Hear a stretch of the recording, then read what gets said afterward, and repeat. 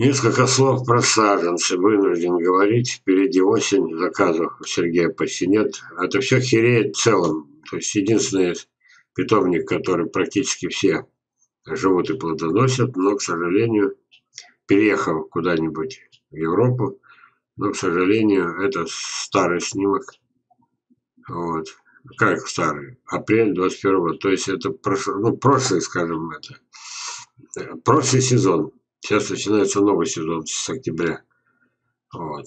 Вот так это выглядело. Если в этом году не наберет заказов, Красноярск поездка не состоится.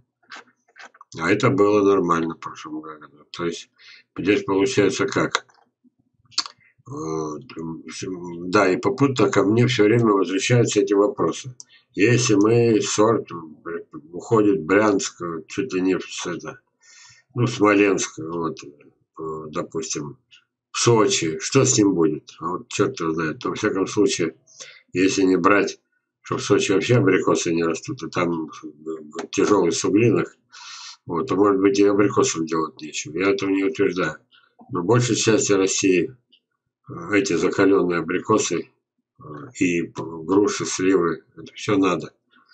Вот. Я даже не представляю, если бы я жил бы там в Смоленске, в Брянске, юг России, да, в Белгородской области.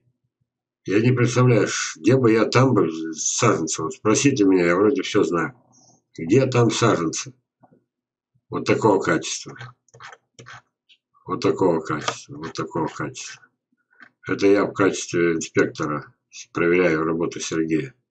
Видели? Вот. Через месяц-два в Красноярск. Уже пора ехать скоро скоро осень. Вот. А может и не получится ничего. Но на всякий случай я рекламирую, потому что это лучше саженцы в России. Лучше этих не существует. Их просто нет в лучше этих.